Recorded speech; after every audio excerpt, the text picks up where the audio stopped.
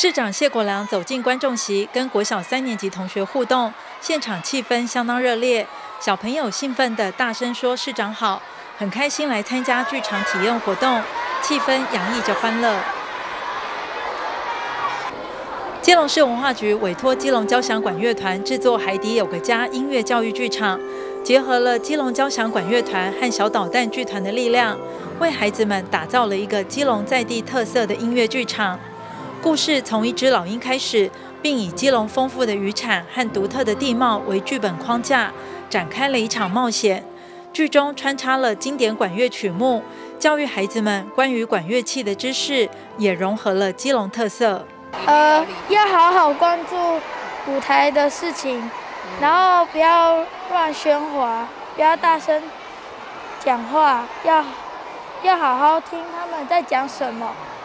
所以呢，我们要好好听他们的事情，我们才能，呃，有可能会有小礼物，我们就是要准备，才能知道这个主题是什么。票给检票员，检票员，那检票员会帮你们看你们坐在哪里，对不对？对。那你们来之前，老师有跟你们说什么吗？你说进剧场要注意什么？老师有没有跟我们说？保持安静，保持安静。那可以跑步吗？不可以，不可以。那里面这里可以喝水还是吃东西吗？都不行，都不行。老师有没有教你们？老师有，有对不对？嗯，好。他来看剧会不会很开心？会。啊，什么时候就很开心了？昨天有没有？昨天也很开心，每天都很开心。我们今天针对这个国小三年级。啊，教育处跟文化局一起来举办的艺术教育剧场《海底有个家》啊的今天的一个表演活动，我们来这个致辞恭贺以外，啊，我们希望能够提升大家对于海洋保育以及海洋教育的一个理念。跟基隆市目前所面临的问题，基隆市目前面临的问题就是针对四阶这个议题，政府仍然执意的。要来新建的话，会破坏海洋的一个生态以及我们港口的整个运作。所以，虽然是三年级的孩子们、同学们，我们还是希望。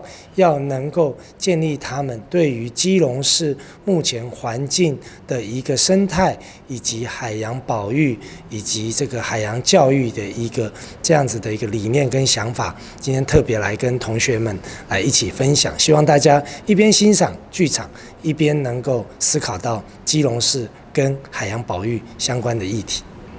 呃，我们今天跟明天一共有三场，邀请呃国小三年级两千多位的小朋友来到文化中心这边呢，参加我们海底有家有个家的剧场。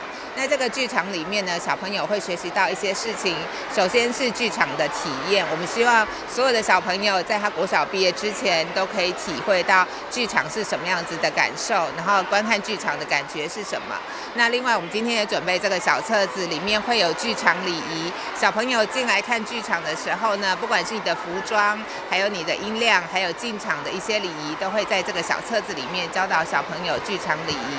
另外还有学习单，因为今天的。曲目是《海底有个家》，它是个音乐剧场。那基隆我们是个海洋城市，所以在《海底有个家》里面，我们会让小朋友学习海洋保育的一些知识。那希望这几天小朋友都会有一个丰富的剧场飨宴。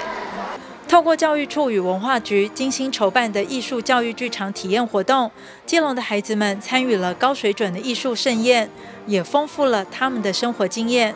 记者黄日升、陈淑平，基隆报道。